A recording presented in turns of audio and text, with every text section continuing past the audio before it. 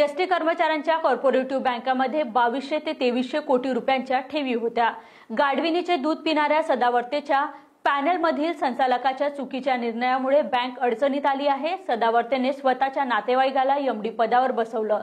Illegal MD पदावर बसलेल्या एमडीला काढण्यात यावं तिथे प्रशासक बसविण्यात यावा ही कारवाई लवकरात लवकर करावी अन्यथा सदावर्ते बँकेला विकतील अशी मागणी रोहित पवार यांनी केली आहे.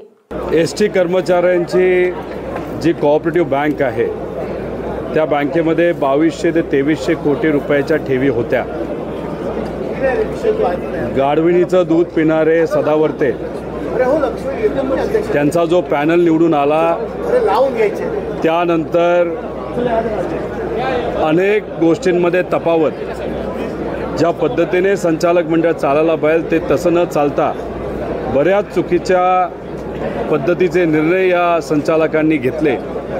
आणि आज जर आपण बघितलं तर एस टी कर्मचाऱ्यांची बँक अडचणीत आलेली आहे. चारशेपेक्षा जास्त कोटी रुपयाच्या ठेवी तिथे असणाऱ्या कर्मचाऱ्यांनी काढलेल्या आहेत. याच्यामध्ये सौरभ पाटील नावाचे बावीस वर्षाचे युवा यांना एम डी म्हणून नियुक्त करण्यात आलेले आहे. आर बी आय ज्यांच्या मार्गदर्शनाखाली सर्वच बँक चालतात.